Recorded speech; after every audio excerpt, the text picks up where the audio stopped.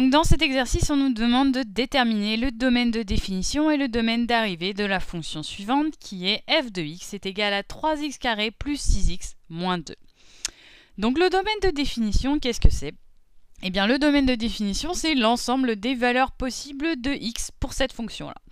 Et là, eh bien, tu peux voir assez facilement que l'ensemble des valeurs possibles pour x, c'est tout simplement r, c'est-à-dire que ici, x peut être n'importe quel nombre, et cette fonction-là, c'est-à-dire f de x, sera toujours définie. Donc le domaine de définition, domaine de définition, eh bien, c'est tout simplement r ici. Donc domaine de définition, c'est r. Maintenant, en ce qui concerne eh bien, le domaine d'arrivée de f de x. Donc c'est-à-dire que si j'écris y est égal à f de x, je veux connaître l'ensemble des valeurs de y. Et donc comment est-ce que je peux trouver l'ensemble des valeurs de y? Eh bien si tu connais un petit peu euh, la forme que peut avoir une équation du second degré, tu sais que eh bien, cette fonction-là, en fait, c'est une parabole. Donc une parabole, qu'est-ce que c'est? Eh bien c'est une courbe qui peut être comme ça ou comme ça. Il y aura donc certaines valeurs de y, donc certainement toutes les valeurs de y qui sont en dessous en fait de cette parabole-là, qui ne seront pas définies par cette fonction. Et dans l'autre cas, eh bien toutes les valeurs de y qui seront au-dessus en fait du, sommet de la parabole ici ne seront pas définies. Donc en fait, il nous suffit de trouver le sommet de la parabole et la direction de la parabole pour connaître eh bien, le domaine d'arrivée de f de x. Une autre manière aussi de faire ça, c'est d'essayer de voir graphiquement ce que donne cette fonction, et c'est ce qu'on va faire là tout de suite ensemble.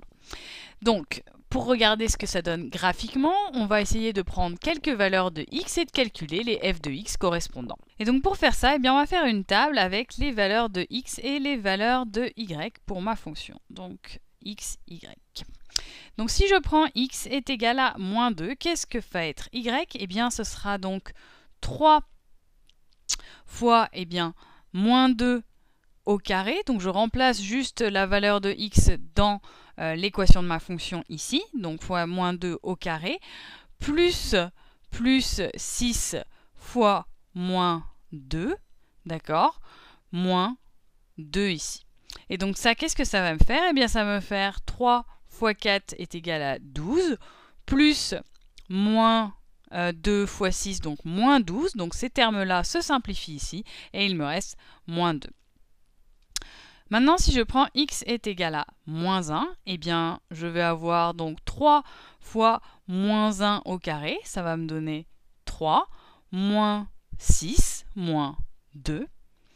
Et donc ça, eh bien, ça va me faire moins 5. Et en fait, ce moins 1 là, eh bien, tu verras que c'est le sommet de la parabole. Ça, j'aurais pu le voir déjà autrement, parce que si je connais un petit peu les équations du second degré, eh bien, je sais qu'en fait, le sommet de la parabole, c'est-à-dire ce, ce point-là ici, ou ce point-là ici, m'est donné, en fait, par moins b sur 2a, c'est-à-dire ici, moins b, c'est donc 6 euh, ici, donc moins 6 sur 2 fois 3, donc 2 fois 3, 6, et ça me fait donc ici moins 1. Donc j'aurais pu trouver ça comme ça, mais on va voir graphiquement qu'on va retomber sur la même chose. Donc je vais prendre encore euh, quelques autres points, peut-être deux points. Donc le point x est égal à 0. Donc si x est égal à 0, ben, j'ai 3 fois 0 plus 6 fois 0 moins 2. Donc il me reste moins 2 ici. Et ensuite si je prends x est égal à 1, qu'est-ce que ça me donne? Eh bien ça me donne 3 fois 1, et bien plus 6 moins 2. Et ça, eh bien, ça me fait 7. Donc maintenant, ce qu'on va faire, c'est qu'on va essayer de représenter cette fonction-là. Et pour la représenter, eh bien, je vais dessiner donc un repère. Donc voilà un premier axe, un deuxième ici. Voilà, je vais l'agrandir un petit peu là. Voilà, très bien. Et donc je vais graduer cet axe-là, donc il faut qu'il aille jusqu'à 7 euh, en hauteur. 1, 2, 3, 4, 5, 6 et 7 ici. Voilà. Et je veux qu'il aille jusqu'à 5 en bas. Donc 1, 2, 3, 4 et 5. Voilà, donc ce point-là c'est 7 et ici j'ai donc moins 5. Donc ici je vais placer juste 1, moins 1 moins 2. C'est tout ce dont j'ai besoin. Donc ici, c'est l'axe des x, et ici, c'est l'axe des y, c'est-à-dire des f de x, donc les valeurs de ma fonction. Donc maintenant, ce que je vais faire, c'est que je vais eh bien, placer les points que j'ai calculés ici. Donc je sais que quand x est égal à moins 2, eh bien y est égal à moins 2, donc ça correspond à ce point-là ici.